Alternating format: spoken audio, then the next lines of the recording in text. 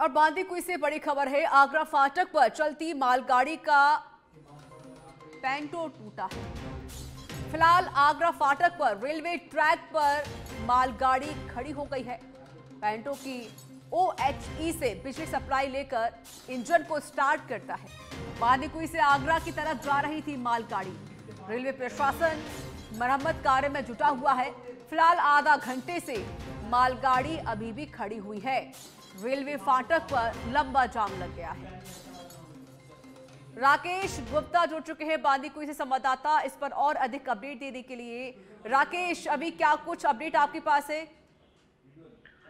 मैं बताना चाहूँगा बांदीकुई से छह बजकर बीस मिनट पर एक मालगाड़ी आगरा की तरफ़ रवाना हुई थी और जो ही वो आगरा फाटक पर स्टेशन से करीब एक किलोमीटर दूर आगरा फाटक पर पहुँची। तो चलती हुई मालगाड़ी का पेंटोग्राफ टूट करके और आधा तारों पर अटक गया और आधा मालगाड़ी के हिस्से में रह गया। इससे मालगाड़ी वहाँ की वहाँ रुक गई। यह घटना आगरा फाटक के बीचों बीच हुई। आगरा फाटक के दोनों तरफ़ लंबा जाम लग गया। करीब सवा सात बजे तक गाड़ी खड़ी हुई है और सात दस तक अभी अभी भी गाड़ी खड़ी हुई है और आ, काफ़ी परेशानी हो रही है। यातायात पुलिस पूरी व्यवस्था को संभाली हुई है और इस समय ट्रैफ़िक व्यवस्था पूरी तरह से गड़बड़ाई हुई है। बिल्कुल देखिए अभी राकेश मरम्मत का काम यहाँ पर किया जा रहा है। ट्रैफ़िक काफ़ी ज़्यादा उधर लगा हुआ अभी लोगों को दिक्कतें भी हो रही होंगी। राकेश बाकी जो ट्रेनें इस प्लेटफॉर्म के ज़रिए जा रही होंगी तो क्या अब उनको डाइवर्ट किया जा रहा है?